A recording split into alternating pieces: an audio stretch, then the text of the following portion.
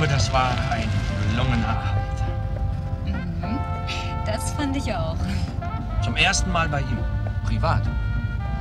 Es war so eine Art Test für ihn. Er wollte mal sehen, wie seine Angestellten sich so bewegen, wie sie sich benehmen. Was sie so reden, ob sie auch was zu sagen haben. Den Test hast du bestanden. Ja, ja, ja. Ja, ich war irre gut gelaunt. Ich hatte so das Gefühl, ich weiß genau, worauf es ankommt. Naja, aber du hast auch Eindruck gemacht. Er nahm mich mal beiseite und sagte, Sie haben ja eine reizende Frau. Sagte er? Ja. Er sagte, sie sieht ja wirklich ganz fantastisch aus. Wenn der wüsste, Wenn er was wüsste. dass das Kleid, das ich anhabe, noch nicht einmal bezahlt ist. Naja, muss er ja nicht wissen. Es kam nur auf den Eindruck an, den wir machten. Und genau den haben wir gemacht, auf den es ankam. Nanu, was ist mit dem Wagen los? Wieso? Was ist denn mit dem Wagen? Ja, merkst du das nicht? Der schwimmt so. Warte mal, ich fahr mal rechts an.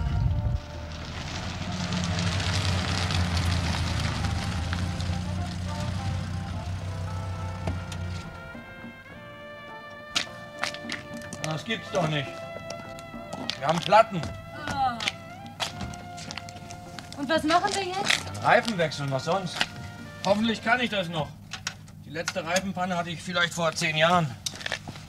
Kann ich dir helfen? Mit dem Kleid, das noch nicht bezahlt ist? Nein, nein, ich mach das schon.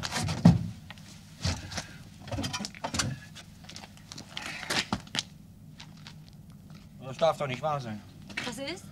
Das Reserverad hat keine Luft. Und was können wir machen? Gar nichts können wir machen. Nach Hause laufen können wir. Mit den Schuhen?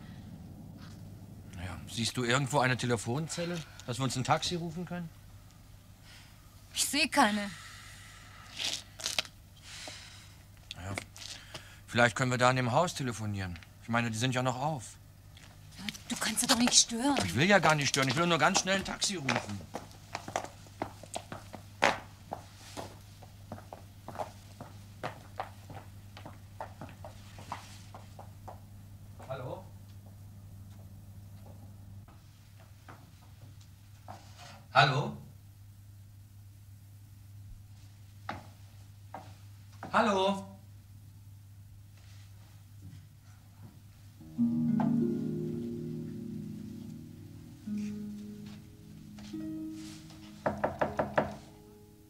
Da jemand?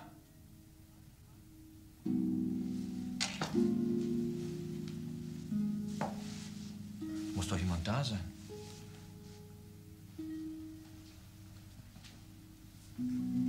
Geh nicht weiter, Werner. Warum denn nicht? Ist doch merkwürdig. Das Licht brennt, die Tür steht offen.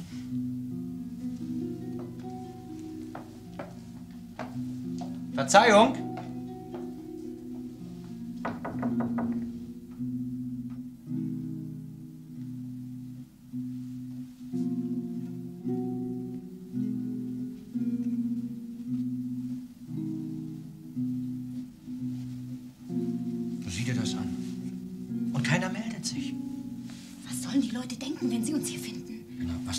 Ist ja keiner hier. Tja, wer weiß, wo sie sind. Vielleicht oben. Ach, hätten uns längst hören müssen. Da ist noch ein Raum. Hallo?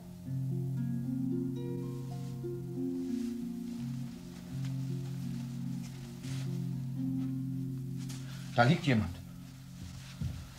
Ich glaube, der ist ohnmächtig. Darf ich Ihnen helfen? Hilde. Der Mann hier, ich glaube. Der Mann hier ist tot. Voller Blut.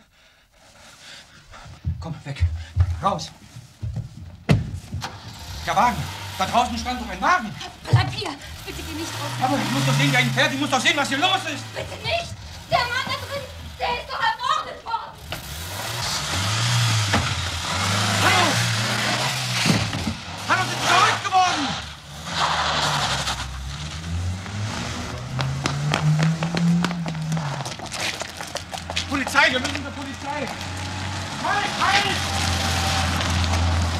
Komm schnell!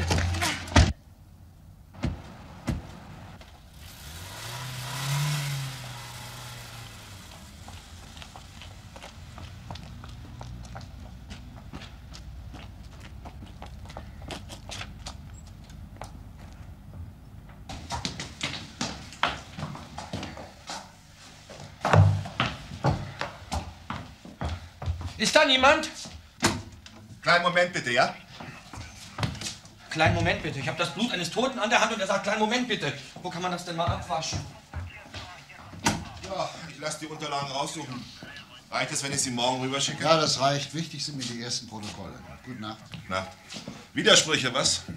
Ja? Im ersten Moment geben sie alles zu, aber dann... Streiten es wieder alles ab. Das kennen wir ja. Gute Nacht, wieder Gute Nacht. Äh, Wir haben einen Mord zum Hängen. Was sagen Sie da? Äh, Moment bitte, ja? Herr Berik, kommst du noch mal bitte? Einen Mord? Ja, ja. Hier wird ein Mord gemeldet. Guten Abend.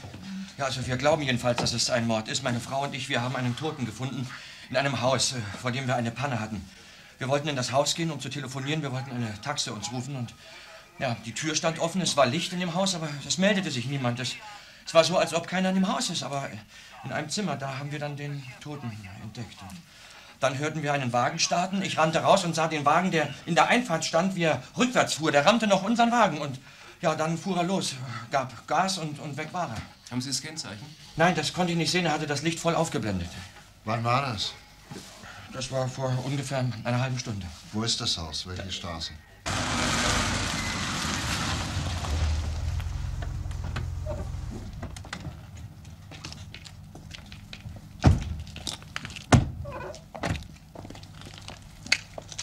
Das Haus hier? Ja, ja, ja, hier steht mein Wagen. Das ist es aber. Das ist jetzt ganz dunkel. Das war vorhin hell.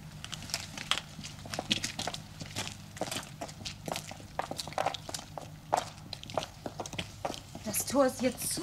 Ja, das war offen.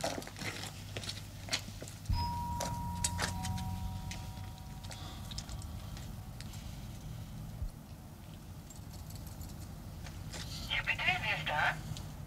Kriminalpolizei, würden Sie uns bitte mal hereinlassen?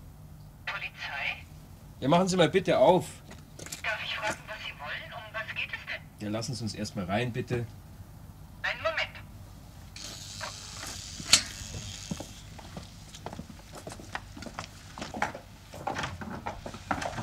Guten Abend. Guten Abend. Sie haben einen Toten in Ihrem Haus. In Ihrer Bibliothek liegt ein Toter. Was reden Sie denn da? Wer sind Sie?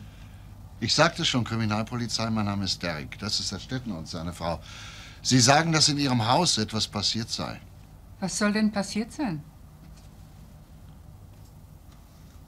Bitte kommen Sie herein. Danke. Darf ich fragen, wer Sie sind? Ich bin Frau Baum, die Haushälterin. Die Haushälterin von wem? Ich meine, wer wohnt hier eigentlich? Dr. Stoll. Und sein Neffe, Herr Stoiber. Sind die Herren zu Hause? Nein, ich bin allein im Haus. Aber die Herren werden jeden Moment hier sein. Sie haben von unterwegs angerufen. Da geht es ins Wohnzimmer. Ja, da geht es zum Wohnzimmer. Moment, ich mache Ihnen Licht. Kommen Sie, kommen Sie. Sie sehen, ich kenne mich hier aus.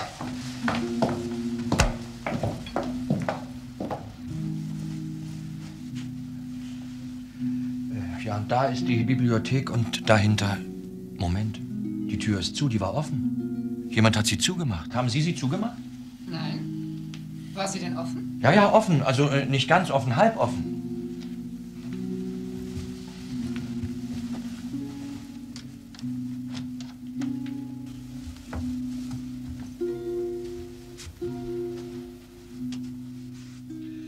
Kommen Sie mal herein.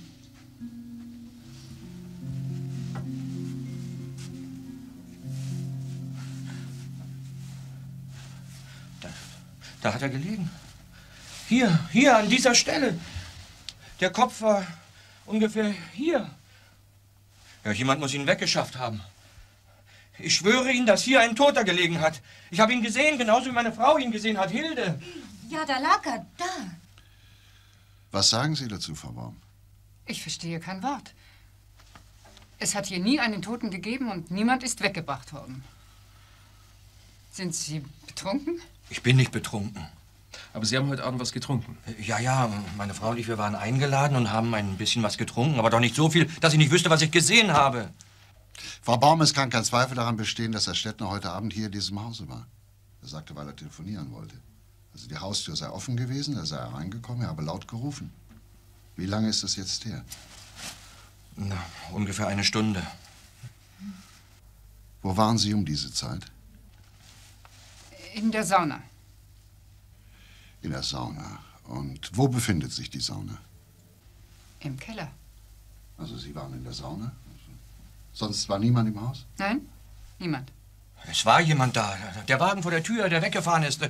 Ich habe ihn gesehen mit meinen Augen. Wir haben ihn gesehen. Er fuhr rückwärts raus und hat noch meinen Wagen gerammt. Ich wüsste nicht, wer das gewesen sein könnte. Äh, Sie sagten, der Tote sei voller Blut gewesen? Ja, ja, ich, äh, ich wollte ihm helfen. Ich dachte, er wäre ohnmächtig, wollte ihm hochhelfen. Und da, da sah ich, dass er tot war und voller Blut.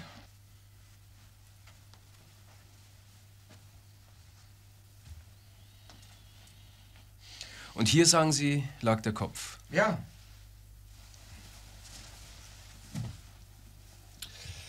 Ist nichts zu sehen. Auf dem Teppichboden nicht, auf dem Teppich. Ist kein Blut zu sehen. Das verstehe ich nicht.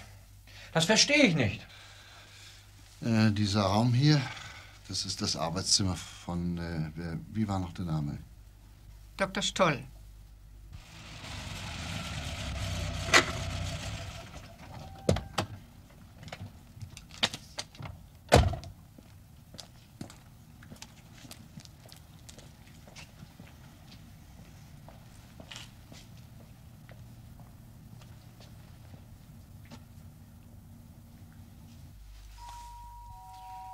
Das Stoll sein.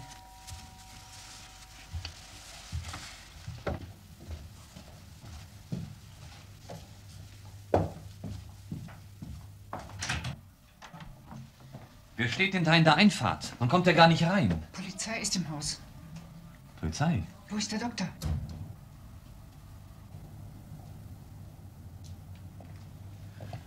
Kommst du mal? Was ist denn das für ein Wagen? Ich weiß es nicht. Frau Baum sagt, die Polizei sei im Hause. Na nun, na nun.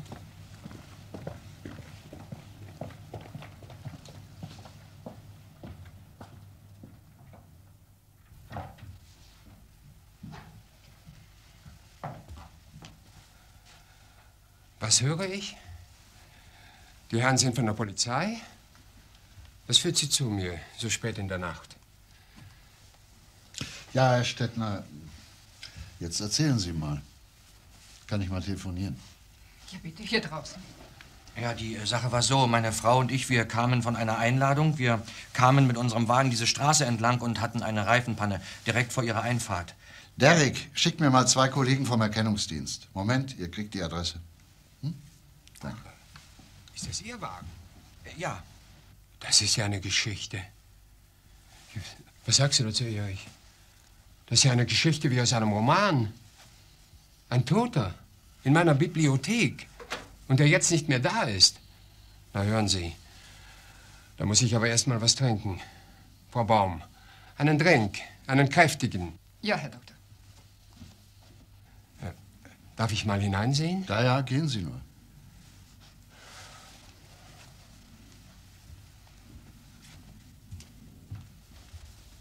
Hier? Wo?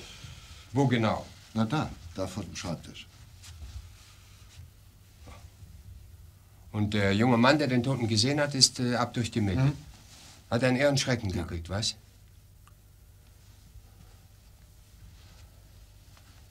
Und hat dann gleich die Polizei alarmiert. Ist richtig, ja. Und nun gibt es keinen Toten. Na, was sagt man denn dazu? Sie haben eine Halluzination gehabt. Ja, das würde ich auch sagen. Wer sind Sie? Was machen Sie? Ich bin Angestellter in einem technischen Betrieb. In einem technischen Betrieb? Na, da müssen Sie doch Ihre sieben Sinne beisammen haben. Ja, aber es passiert zuweilen, dass Sie einem abhanden kommen. Wenn Sie mich fragen, ich habe Verständnis dafür. Ja. Na, was passiert nun, nachdem kein Toter zu finden ist? Sie sind der Hausherr. Ich bitte um die Erlaubnis, Ihr Haus durchsuchen zu dürfen. Was? Was wollen Sie? Na, warum nicht? Sie haben die Erlaubnis. Stellen Sie alles auf den Kopf, vom Keller bis zum Boden. Ich habe nichts dagegen.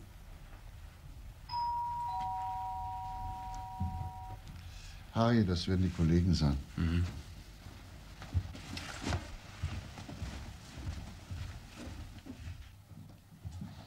Guten Abend. äh, Wir schauen uns im Haus um. Gehen Sie mal oben rauf, bitte, und wir zwei schauen unten runter.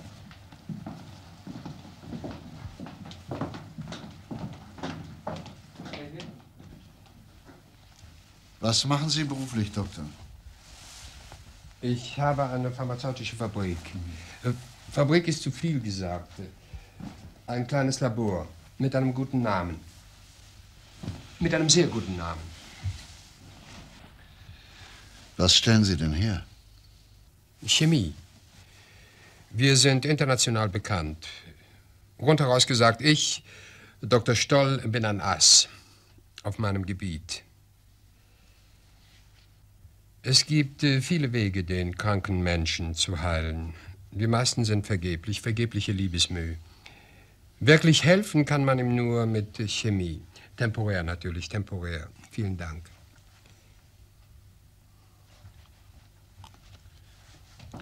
Wo kommen Sie denn jetzt her, Herr Doktor? Ich komme direkt aus dem Labor. Kann ich mal Ihre Ausweispapiere sehen?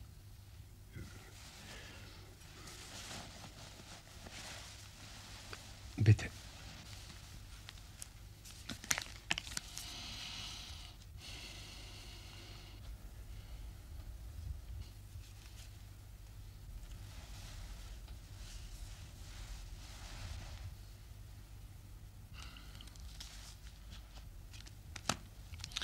Besten Dank, Doktor.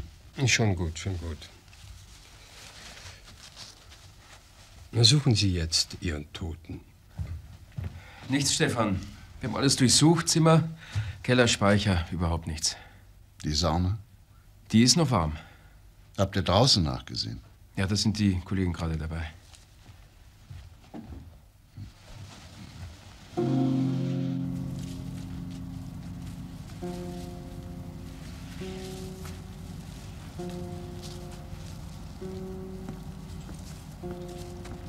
Sie glauben doch nicht, dass ich gelogen habe. Ich habe keine Halluzination.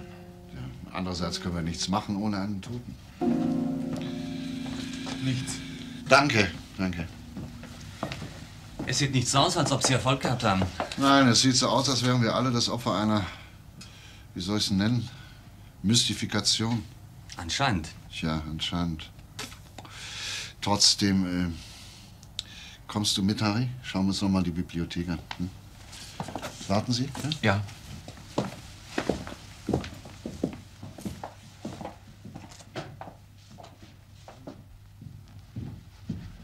Na, haben Sie den Toten gefunden? Nein, im ganzen Hause nichts gefunden. Und im Garten? Haben Sie auch den Garten durchsucht? Auch den, ja. Bis in den letzten Winkel? Bis in den letzten Winkel. Das ist eine, eine erstaunliche Geschichte. Ja, das ist sie wirklich. Die jungen Leute sind unglaubwürdig. Hm, ja, das ist schwer zu sagen. Ja, ohne den Toten ist die Geschichte nicht viel wert. Nein, aber wenn es hier einen Toten gegeben hat, dann werden wir auch erfahren, wer es war. Denn irgendwo, ich meine, irgendwo, da wird ja jemand fehlen. Sehr gut. Sehr gut und sehr logisch. Einleuchtend. Ja. Irgendwo wird jemand fehlen. Wir gehen noch mal da ins Arbeitszimmer. ne? Äh, darf ich Sie bitten, uns allein zu lassen? Ja, Ich soll Sie alleine lassen? Da ist ja nur für einen Moment. Na, sehr gerne.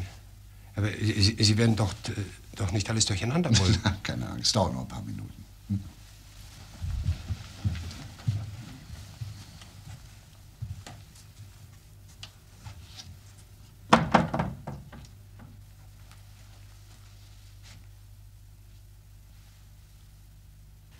Was hast du denn vor? Tja, die Städtners haben hier einen Toten gesehen, also glauben wir ihnen noch mal. Also hier lag ein Mann mit einer Verletzung, hat stark geblutet. Jetzt hebe ich mal den Schreibtisch hoch und du schaust dir den Teppich an. Hm? Moment mal. Ja, So. okay. Hier sind zwei Eindrücke, ein starker und ein weniger starker. Wo jetzt der Schreibtisch steht. Naja, eins ist sicher, Schreibtisch ist verstellt worden. Vielleicht der Teppich ausgewechselt worden, nicht? Weil er blutig war. Also, hier lag ein Toter. Die Frage ist doch jetzt, warum wird das verschwiegen? Wer verschweigt hier etwas? Wir kennen drei Personen, die Haushälterin, Dr. Stoll und seinen Neffen. Wissen die alle nichts oder wissen nur zwei nichts oder nur einer? Ich, oh, warte mal, hier ist ein Kalender. Der heutige Tag. Äh, Die Telefonnummer, notier die bitte mal. Na, Frau Baum, bringen Sie mir noch einen. Irgendwie habe ich auch Hunger. Kann man noch was kriegen? Oh, sagen Sie nur, was Sie haben möchten. Ja, Machen Sie noch irgendwas? Ja. Du hast wohl keinen Hunger. Nein, gar nicht.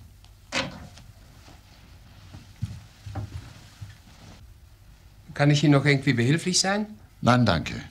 Also alles in Ordnung, wie? Um die Angelegenheit zum Abschluss zu bringen, brauche ich Ihre Aussagen noch schriftlich. Nicht jetzt. Morgen. Ja, wie Sie wollen. Sehen Sie, Herr Derek, hier ist der Wagen beim Rückwärtsfahren dagegen geknallt. Ja. Ja, es ist schon sehr spät, aber vielleicht kommen Sie noch mit ins Präsidium. Nicht? Kümmert ihr euch um den Wagen, bitte? Ja, danke. Danke. Nun äh, versuchen Sie einmal, uns den Toten zu beschreiben. Gut, ich will es versuchen. Aber es ist nicht leicht. Du hilfst mir dabei. Ja? Also der Mann war ungefähr Mitte 50, hatte glattes Haar und einen grauen Anzug an. Beschreibe ich das richtig? Ja, so würde ich den Toten auch beschreiben.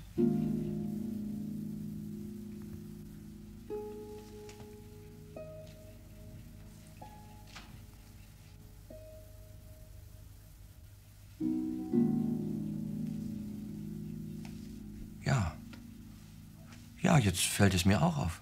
Die Beschreibung, das hätte Dr. Stolz. Nein, das ist gar nicht möglich. Der Mann, den wir gefunden haben, der war tot. Äh, der Wagen, der rückwärts rausfuhr, können Sie den beschreiben? Ja, das. äh, Das könnte ein Mercedes gewesen sein, ein, ein dunkler Mercedes. Und drinnen saß nur ein Mann. Und daran erinnern Sie sich genau? Ja, nur verlangen Sie jetzt nicht von mir, dass ich ihn beschreibe. Das, äh, könnte ich nicht.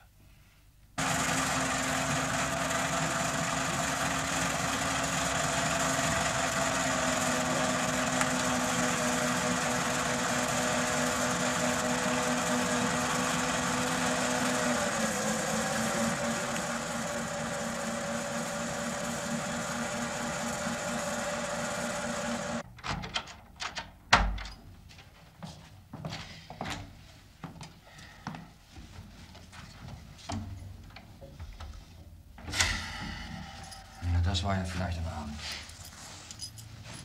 Das ist doch irre. Ein Platten, ein Toten. Kriminalpolizei. Hast du gelesen, wo wir waren? Mordkommission. Und dann kein Toter da. Ach, natürlich war er da. Die Polizei glaubt auch, dass er da war. Ja, aber wie stehst du denn da? Rennst der Polizei, meldest einen Mord? Und das war ein Mord. Das kann mir keiner erzählen. Ja, und dann finden die keinen Toten. Also, das ist doch eine, eine irre Geschichte. Hast du mal ein Bier? Ja. Naja, und, und das ganz Verrückte ist ja, wenn die keinen Toten finden, was willst du denn dann machen? Kannst ja gar nichts machen ohne einen Toten. Telefon? Was denn? Zwei Uhr in der Nacht? Hallo, Stettner? Herr Stettner selbst. Ja, am Apparat. Das Kennzeichen MCA 4541. Ja? Ist das Ihr Wagen? Ja, das ist mein Wagen. Was ist denn damit? Hallo? Hallo? Aufgelegt. Das ist ja ein Ding. War ein Mann dran, fragt, ob ich Stettner bin. Ich hab ja gesagt. Na, ja, hast ja gehört. Dann unsere Wagennummer und. Ja, aufgelegt. Und was bedeutet das? Mein lieber Mann, du. Da ist aber noch was im Busch. Gehen wir jetzt? Ja, wir können nicht mehr tun. Oder willst du das ganze Haus nochmal auf den Kopf stellen?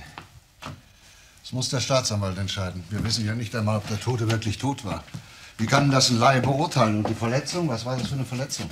Der Staatsanwalt braucht einen konkreten Anlass. Und in diesem Fall, wenn es überhaupt einer ist, was ist da schon konkret?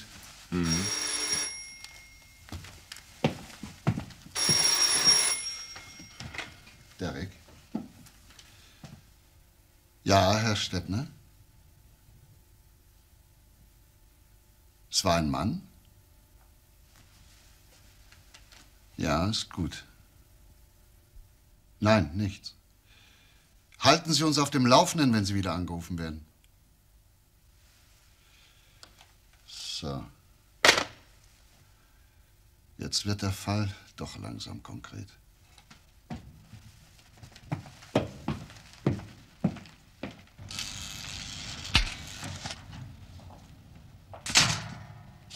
Guten Morgen, Frau Baum. Guten Morgen. Sind die Herren noch da? Herr Dr. Stoll ist noch im Haus. Herr Stoll war schon im Labor. Danke.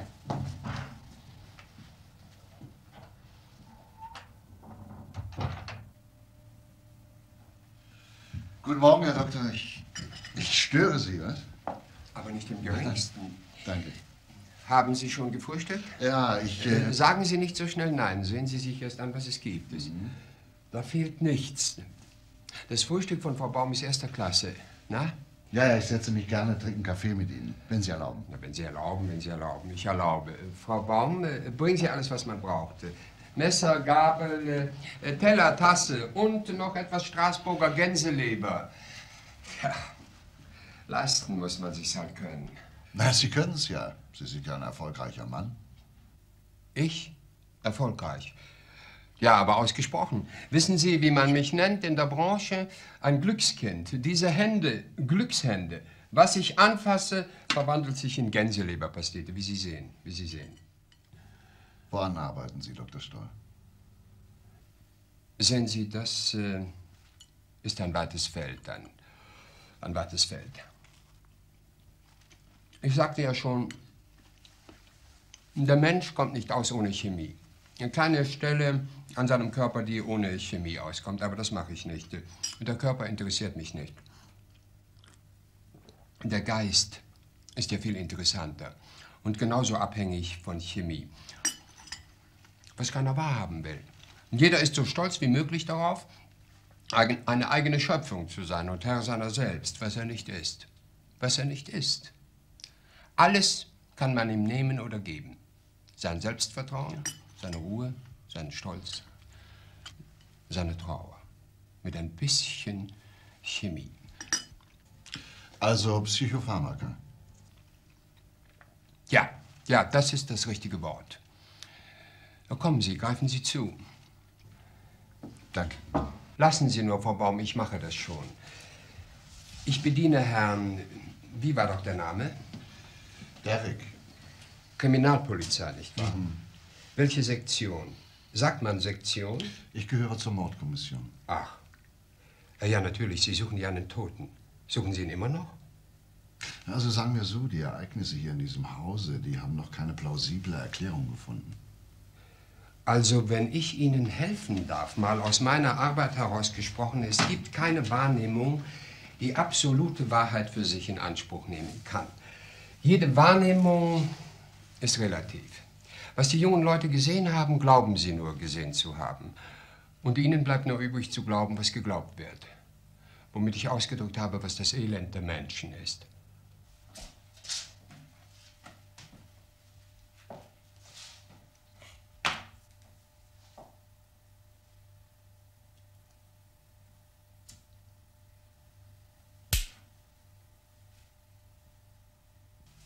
Wollen Sie nicht doch zugreifen? Nein, danke.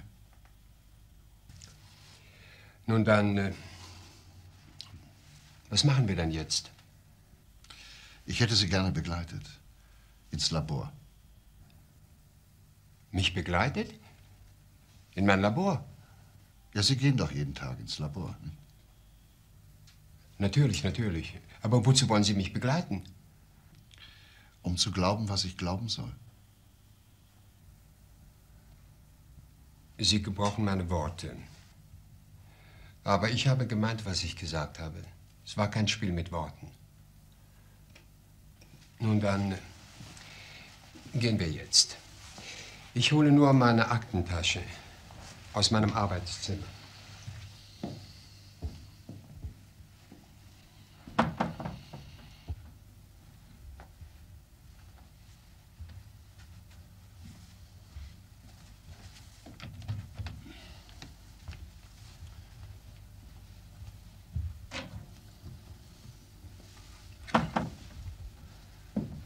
Originale. Nur Originale. Verstehen Sie was von Bildern? Sie haben einen unglaublichen Wert. Sind Sie Sammler? Sammler?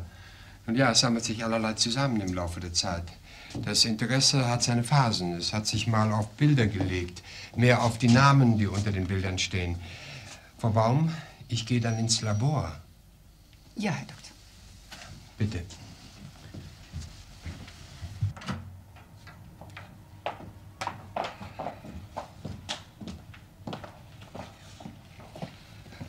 Fahren wir mit Ihrem Wagen? Ach nein, den lassen wir hier stehen. Ja, ist gut. Ah. Kommen Sie.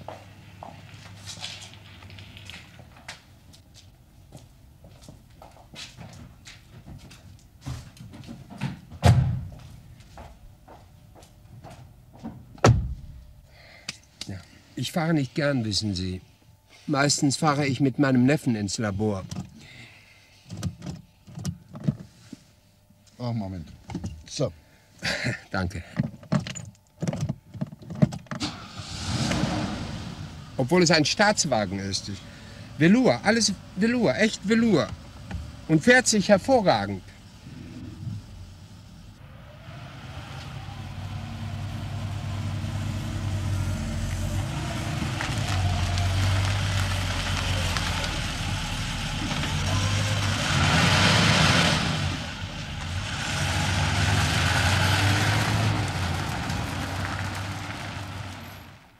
Ja, ich warte. Nummer gehört zum Hotel. Hallo? Ja, hier ist Kriminalpolizei, Inspektor Klein. Ich habe eine Frage, und zwar wohnt bei Ihnen ein Gast, ein äh, Doktor. Ja, und jetzt wird schwierig. Ich habe hier nämlich nur die ersten beiden Buchstaben NO. Ja, vielleicht können Sie. Danke. Ja, das ist für die Kriminalpolizei. Nolde? Aha, Dr. Nolde. Ach, Frau Dr. Nolde. Ist die im Haus? Nein, nein, Sie brauchen mich nicht zu verbinden. Danke, wiederhören. Mit Frau Dr. Nolde hat er telefoniert. So, jetzt haben wir hier noch eine zweite Nummer. Kein Buchstaben, kein Namen, kein gar nichts. Dr. Nolde.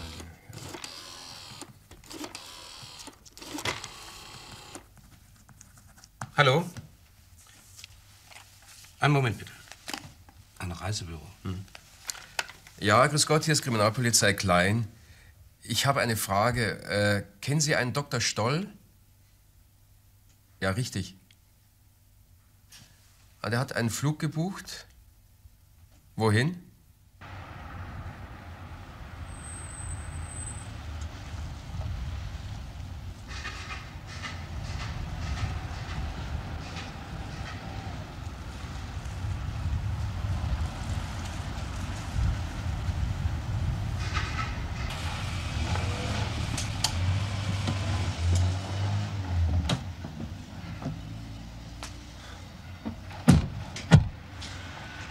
Gefällt es Ihnen?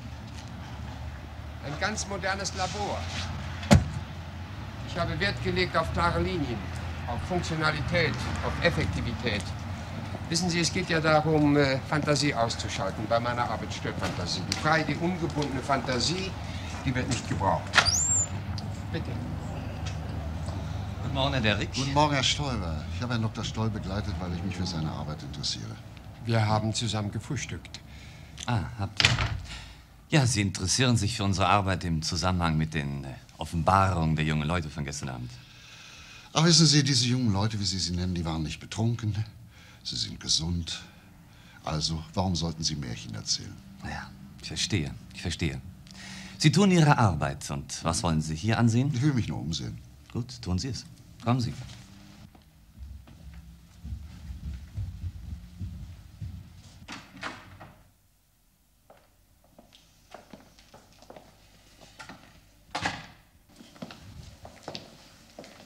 Ja, das äh, ist, ist niemand hier. Hast du denn nichts gesagt? Gab noch keine Gelegenheit dazu. Die Sache ist nämlich die, wir hören hier auf. Das Labor wird von der Universität übernommen. Ja, was, was heißt übernommen? Verkauft. Die ganze Anlage ist verkauft. Wird nicht mehr gebraucht. Wir haben unsere Arbeiten zum Abschluss gebracht. Wir sind nur noch mit der Auswertung beschäftigt. Unsere Patente. Äh, keine Angestellten hier? Niemand? Doch, doch, der Laborleiter ist noch da. Herr Hansen? Guten Tag, Herr Stoll. Tag, Herr Hansen. Grüß Gott, Herr Hansen. Ist der Herr von der Universität? Nein, nein. Von der Universität ist er nicht. Oder waren Sie mal auf der Universität? Hm? Nein, nie. Man braucht nicht zu studieren, was man braucht, um in einer Mordkommission zu arbeiten. Nein, nein, dazu muss man nicht studieren. Man, man kann, man muss nicht. Mordkommission. Ja, ich habe gehört. Herr Stoiber hat mir erzählt, was es da gestern Abend äh, für merkwürdige Dinge bei Ihnen gegeben haben soll. Ja, haben Sie schon gehört. Ja, es, Es soll einen Toten gegeben haben, der in meinem Arbeitszimmer gelegen hat, gelegen haben soll. Ich habe mich schon an einer philosophischen Erklärung versucht und die menschliche Unfähigkeit zur absoluten Wahrnehmung in Frage gestellt. Denn es gibt keinen Toten. Ich möchte Ihnen jetzt mein Büro zeigen. Herr Hans.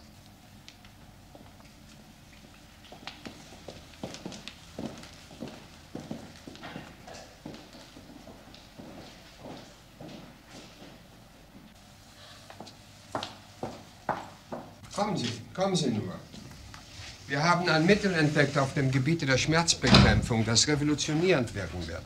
Man spürt überhaupt nichts mehr. Man untersucht, man forscht, man investiert und danach, wenn man Glück gehabt hat, kassiert man. Dabei sind wir gerade. Frau Dr. Nolde, bitte. Ja, ist gut, ich warte. Soviel ich rausbekommen habe, ist sie Rechtsanwältin in Frankfurt, hat eine Praxis da. Sehr guten Namen. Rechtsanwältin? Ja, arbeitet vornehmlich für die Industrie oder mit der Industrie. Hallo? Ach, die ist schon abgereist. Wann? Von einer Stunde. Gut, danke, wiederhören. Haben wir Adresse, Telefonnummer in Frankfurt? Hast du mit dem Ehepaar Stettner telefoniert? Ja, aber da gibt's nichts Neues. Also er wurde nicht wieder angerufen. Und was war bei dir? Naja, das Labor ist nicht mehr in Betrieb. Alle Leute sind entlassen, wie Dr. Stoll sagt. Die Arbeiten sind abgeschlossen, investieren ist vorbei. Kassieren ist an der Reihe. Es ist Geld im Spiel. Und wahrscheinlich sehr viel Geld. Du hast recht. Kannst du mal die Universität anrufen, Professor Jahn? Ja, das ist richtig. Die Universität übernimmt das Labor von Dr. Stoll, äh, Teile der Einrichtung. Was ist daran für die Kriminalpolizei von Interesse? Nur die Antwort auf die Frage, warum löst Dr. Stoll sein Labor auf? Er hört auf. Er sagt, er hängt die Arbeit an den Nagel. Was ich verstehen kann. Zudem kann er es sich leisten. Er ist ein überaus tüchtiger Chemiker, der jederzeit die Universitätslaufbahn hätte einschlagen können. Was er nicht getan hat, aus einem merkantilen Empfinden heraus, das man nur als hm, gesund bezeichnen kann. Sie kennen ihn persönlich? Ja, nicht sehr gut. Ich schätze diesen Mann als Wissenschaftler, als Mensch weniger. Warum? Warum als Mensch weniger? Ersparen Sie mir eine Erklärung. Zu große charakterliche Unterschiede. Ja, Professor, es käme mir sehr darauf an, was Sie darunter verstehen. Dieser Mann ist ein zu großer Egoist. Egoismus ist die Krankheit der Erfolgsmenschen. Vielen Dank, Herr Professor. Egoismus ist die Krankheit der Erfolgsmenschen. Wer sagt das? Professor Jahn von Dr. Stoll. Ist Dr. Stoll ein Egoist? Den Eindruck macht er eigentlich nicht, aber wie gut kennen wir ihn? Kommen Sie herein, Herr Derrick. Na, äh, jetzt störe ich Sie schon wieder. Aber nein, aber nein. Bitte kommen Sie nur herein. Danke. Ich sitze, bitte nehmen Sie Platz. Ich, ich sitze gerade äh, beim Wein, äh, beim Rotwein. Das ist ein ganz vorzügliches Gewächs aus Frankreich. Sie sind allein? Ja, mein äh, Neffe ist im Labor. Er, er packt die, die Sachen ein, die, die nicht mit übergeben werden an die, an die Universität. Äh, Frau Baum hilft ihm dabei und äh, Herr Hansen. Aus diesem Grunde bin ich allein. Sie sind nicht dabei? Der Kleinkram, Herr Derrick. Damit habe ich mich nie abgegeben. Die, die Details hindern daran, den Blick zu haben für das Große und Ganze. Obwohl äh, das Leben, das äh, eigentliche Leben aus Details besteht. Leben genießen heißt, äh, Details zu genießen, was ich weiß, was ich durchaus weiß. Aber das ist hier die Frage, die man irgendwann einmal beantworten muss. Was man vorzieht. Die netten Kleinigkeiten oder das Große und Ganze. Aber jetzt genießen Sie, wie ich sehe, ein Detail. Richtig, richtig. Und was für alles. Ein, ein prachtvoller Wein. Sehen Sie mal die Farbe. Dunkelrot und leuchtend. Warten Sie, ich hole Ihnen ein Glas.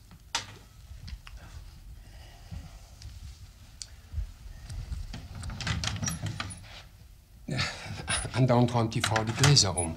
Kleinen Moment. was sie mir doch sagen muss. Kann doch sein, dass, äh, dass ich mal einen Gast bedienen muss.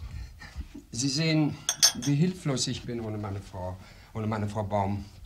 Ich verirre mich in Details. Vergeude Zeit, was des Menschen schlimmstes Verbrechen ist. Obwohl es Leute gibt, die behaupten, die Zeit ist dazu da, um vergeudet zu werden. Nun bin ich gespannt. Probieren Sie mal.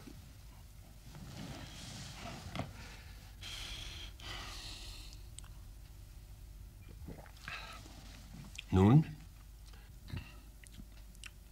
Ist wirklich gut. Na gut ist ein schwacher Ausdruck. Ihnen fehlt die Fähigkeit, sich zu begeistern. Äh, Sieht so aus, als fehlte sie mir. Aber wer kann von Ihnen Begeisterung verlangen? In Ihrem Beruf. Weswegen sind Sie hergekommen? Ähm, ja, Sie hatten eine Verabredung mit Dr. Nolde. Dr. Nolde? Anwaltsbüro, Frankfurt. Aha. Aha. Nun ja. Na hören Sie. Ich äh, löse alles auf. Verkaufe das äh, Labor und die, äh, die Patente. Wissen Sie, worum es da geht? Um Millionen. Da werden äh, Verträge gemacht. Da, da muss alles Mögliche berücksichtigt werden. Ein äh, Vertrag ist ein Feld, äh, auf dem es von Schlangen wimmelt. Haben Sie persönlich mit Dr. Nolde gesprochen? Natürlich, natürlich. Ein gescheiter Mann, der sich auskennt in solchen Schlangengruben. Und dann sagte er, ein gescheiter Mann, dieser Dr. Nolde. Ach, er weiß nicht, dass Dr. Nolde eine Frau ist. Nee, das weiß er nicht. Er kennt nicht mal seinen eigenen Rechtsanwalt. Und du hast es ihm auch nicht gesagt? Nein. Harry, Dr. Stoll wusste nicht, wo sich seine Weingläser befinden. Der fummelte da im Schrank herum. Das war nicht das Einzige. Ich hatte überhaupt den Eindruck, der kennt sich in seinem eigenen Haus nicht aus. Und die ganze Zeit, da denke ich über etwas nach.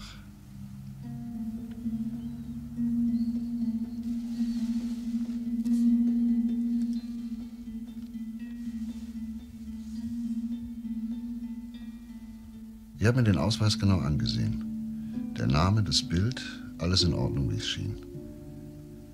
Aber nun frage ich mich, was stimmt hier nicht? Ist dieser Dr. Stoll wirklich Dr. Stoll? Richtig. Ja, aber das Foto im, im Ausweis. Das war so ähnlich, dass ich keine Erklärung finde. Außer. Ja, außer es handelt sich um einen Verwandten, Bruder oder Cousin. Zum Beispiel. Aber das kann man ja feststellen. Dr. Stoll hatte eine Schwester, die Mutter von Herrn Stoiber. Aber er hat auch einen Bruder, Johannes Stoll. Der studierte ein paar Semester Biologie, Chemie, war aber ganz erfolglos. Dann hat er alles Mögliche unternommen, hat aber kein Glück gehabt. Ist dann mehrmals in Konkurs gegangen, fand dann keine Unterstützung von seinem Bruder. Die beiden hatten überhaupt keine Beziehung zueinander, obwohl sie in einer Stadt lebten. Dr. Stoll war seinem Bruder gegenüber absolut gleichgültig. Brüderliche Gefühle gleich null. Der Tote also, den wir nicht finden, war Dr. Stoll. Und sein Bruder hat seinen Platz eingenommen. Was aber nicht geplant war. Nicht geplant? Das Ehepaar Stettner, die Reifenpanne. Richtig. Richtig, die entdeckten den Toten und zwangen den Mörder oder die Mörder zu handeln. Die dann innerhalb von einer Dreiviertelstunde für Ersatz sorgten. Ja.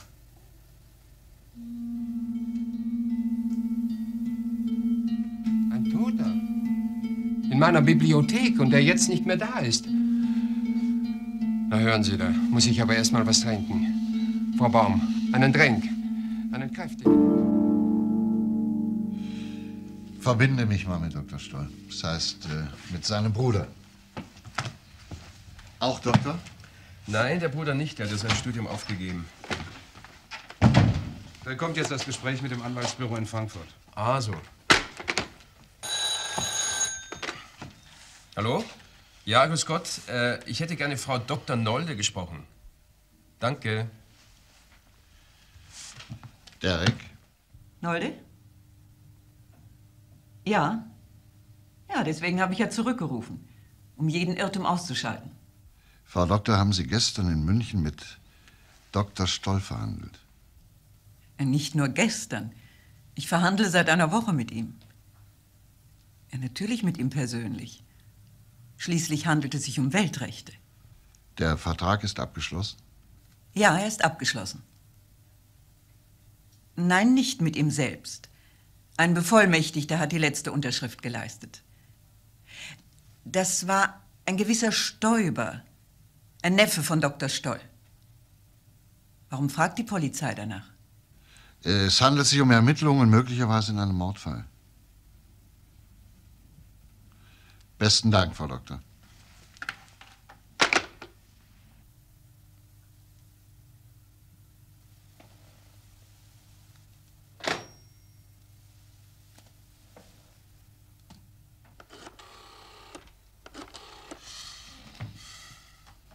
Kriminalpolizei Klein. Äh, guten Morgen, Frau Baum. Wir hätten gerne Dr. Stoll gesprochen. Dr. Stoll ist heute Morgen nach Zürich geflogen. Ach, der ist nach Zürich abgeflogen. Stefan, das haben wir ganz vergessen. Das Reisebüro, das Ticket nach Zürich. Frau Baum, ist der Stoiber da? Herr Stoiber? Einen Moment bitte. Ja, bitte, Stoiber hier. Ah, guten Morgen, Herr Derrick. Nein, der ist in Zürich. Was er dort macht? Er führt Verkaufsverhandlungen mit den Amerikanern, die sich für seine Patente interessieren. Mein Onkel trifft sich mit den Leuten im Grand Hotel Troller. Ja, bitte sehr. Gern geschehen. Wiederhören. Führt Verkaufsverhandlungen in Zürich mit Amerikanern? Über eine Sache, die ja längst verkauft ist. Längst verkauft ist? Was macht er also in Zürich? Dieser Dr. Stoll, der ja gar nicht Dr. Stoll Ja, ist. keinesfalls mit irgendwelchen Leuten verhandelt. Weswegen? Mhm. Weswegen ist er in Zürich? Oder fragen wir so, wer hat ihn da hingeschickt? Der Stoiber ist hier. Ach so, und der andere, der... Laborleiter, der Hansen. Harry, Dr. Stoll ist tot, er ist ermordet worden, da gibt's gar keinen Zweifel. Dann hat man seinen Bruder genommen, hat ihn an seine Stelle gesetzt. Es ist also ein Mann, der für den Mörder oder die Mörder doch wahrscheinlich eine Gefahr darstellt, nicht? Ja, meinst du, die wollen ihn verschwinden lassen, oder was? Wann ist er abgeflogen? 10.30 Uhr. Da ist er jetzt schon in Zürich, Grand Hotel Troller. Vermittlung? Ja, das Grand Hotel Troller in Zürich, dringend bitte.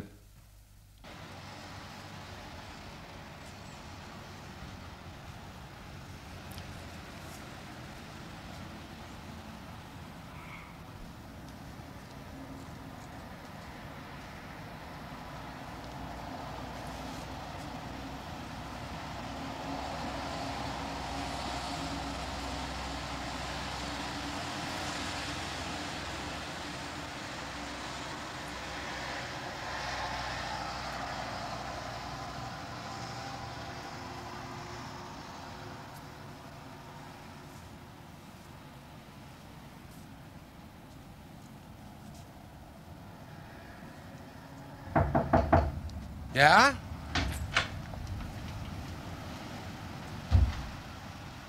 Sie? Ja, ich dachte, wir können Sie doch hier nicht allein lassen. Nein. Sehr gut. Sehr gut, dass Sie da sind.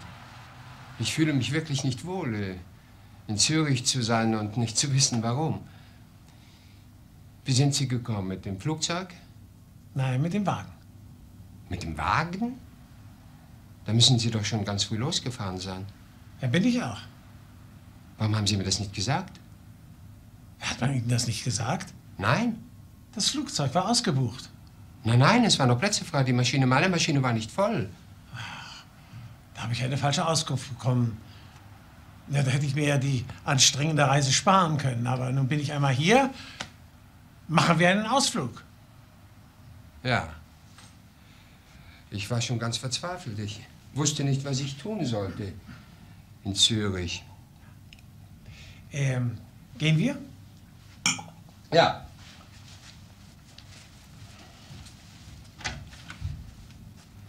Tun Sie.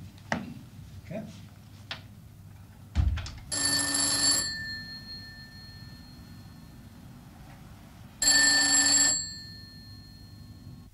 Besten Dank. Stoll ist nicht auf seinem Zimmer. Los jetzt, wir haben keine Zeit mehr zu verlieren.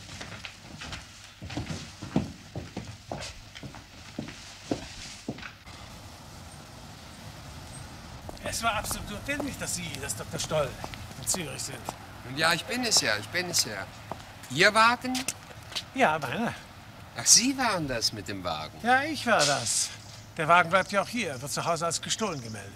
Sehr gut. Sehr gute Überlegungen, die Sie anstellen. Sie wissen immer, was Sie wollen, was? Ja, meistens. Bitte, steigen Sie ein.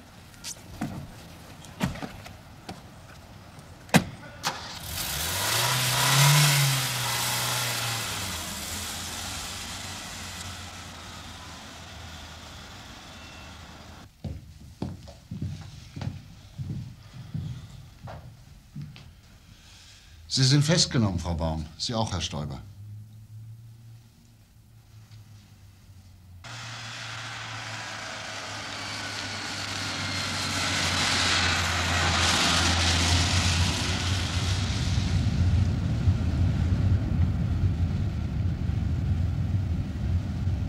Frau Baum, das hat doch keinen Sinn. Wir wissen, dass Dr. Stoll tot ist und dass sein Bruder seine Stelle eingenommen hat. Sie können Ihre Lage doch nur verbessern, wenn Sie jetzt rückhaltlos offen sind. Es ging um die Patente. Um den Verkauf der Patente.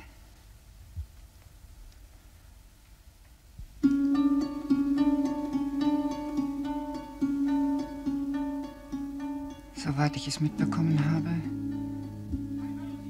wollte ein Konzern über ein Frankfurter Anwaltsbüro die Patente aufkaufen, um sie nicht zu verwerten, um ein eigenes Produkt gegen Konkurrenz zu schützen. Sie wollten Millionen dafür zahlen. Dr. Stoll hingegen wollte eine eigene Fabrikation in der Schweiz aufmachen. Herr Stoiber und auch Herr Hansen waren dagegen. Geld bar auf die Hand war ihnen lieber. Dr. Stoll war so aufgebracht, dass er plötzlich sagte, Ihr werdet sowieso keinen Pfennig davon sehen. Ihr bleibt, was ihr seid. Meine Angestellten. Na, das werden wir ja sehen. Wer ist da? am Telefon war sein Bruder, der offenbar Dr. Stoll um Geld bat. Wenn du Geld brauchst, verdien dir welches. Ich bin kein Wohltäter. Für niemanden. So, und jetzt ist genug für heute. Ich will kein Wort heute mehr hören. Obwohl ich in der Küche war, habe ich alles mitbekommen. Ich hörte auch den Schuss. Und kurz darauf kamen die Herren in äußerster Erregung Hallo? zu mir in die Küche. Hallo? Hallo?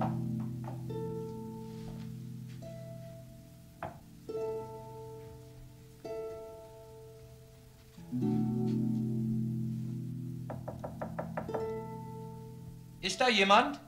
Wir hörten einen Mann, der andauernd Hallo rief. Ist da jemand? Geh nicht weiter, Werner. Warum denn nicht? Dann kam auch noch eine Frau herein. Ja, was denn für Leute? Ist ja keiner da. Wer weiß, wo sie sind. Vielleicht oben. Ach, die hätten uns längst hören müssen.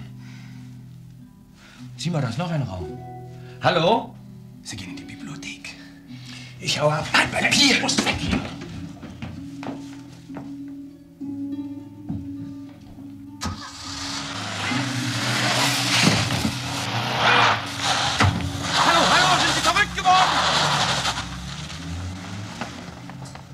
Leute verließen das Haus. Es war zu erwarten, dass sie die Polizei alarmieren. Was tun? Wir überlegten hin und her, bis Stoiber sagte, man darf den Toten nicht finden. Wir werden sofort seinen Bruder holen. Für eine Million tut er alles. Für eine Million tut er alles. Herr Stoll ist in Zürich. Wer ist noch da? Herr Hansen.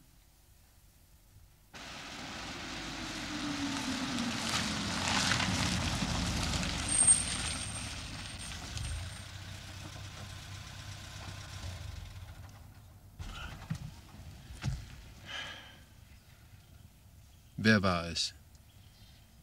Waren Sie es, der meinen Bruder getötet hat? Ja. Ich war es. Und wo ist er? Der Tote. Als Stoiber sie abholte, befand er sich im Kofferraum.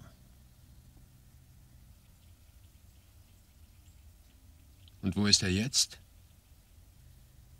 Im Keller meines Hauses. Den passenden Ort suchen wir noch. Ich wüsste ihn. Damit würden Sie uns sehr helfen. Wo?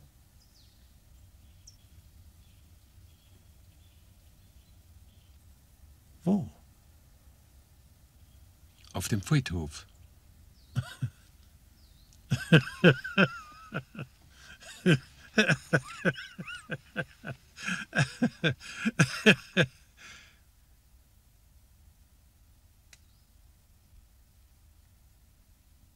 Ich wollte nur wissen, wer es war.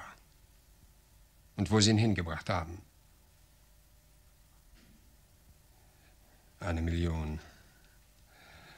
Die Leute hatten etwas vergessen. Ich war sowieso der Erbe.